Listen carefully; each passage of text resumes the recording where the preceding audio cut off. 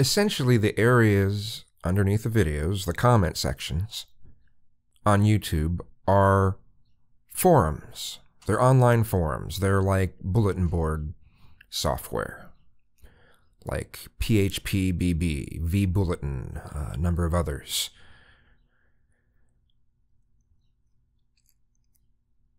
To me, if Google wanted to actually make their users happy, they could start a YouTube forum that is connected with the videos. This way you don't actually have to watch you don't have to watch the video every time you want to respond. You already watched it, that's why you're making comments. So they could have this mode where yeah, you can look at it via the videos or you could look at it via like a forum. And it's not just some string of messages. I mean, the, way that they have right now, it's uh, youtube.com slash comments. Okay, when you use that, I mean, that's.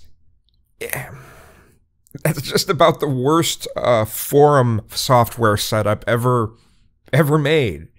I mean, compare it to, to other forum software and look at that and go, this is a joke.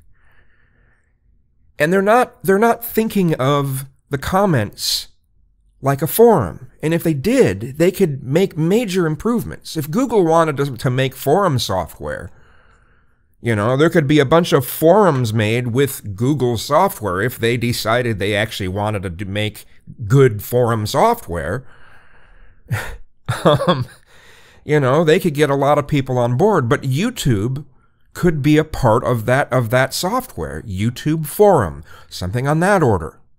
And then those that you know, are are moderating, running those particular uh, sections, um, which would be the, the channel owner, or unless you you you know uh, move on those responsibilities to some others, um, you can actually have a lot more control over the forum. I mean, think about what you can normally do as as a moderator on on just about any forum software. You could have all that, and you wouldn't have to watch the video just to continue leaving comments. This would satisfy a lot of people on, on the YouTube platform. And if you didn't want to use that, you don't. you can just use still use it as a normal comment section. You just leave it as default for your view. But you know, giving people these options, I think it would be a good opportunity for Google to have uh, to put up ads too. They could probably have ads all over the place in some of the little unused spaces in the forum.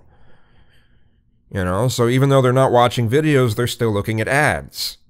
You know, it would be an opportunity for everyone if they were to do something like that.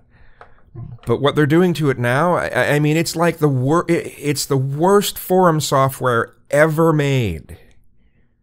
I knew better. I, I was on better forum software on the Commodore 64. Okay? I, am sorry. This is pathetic.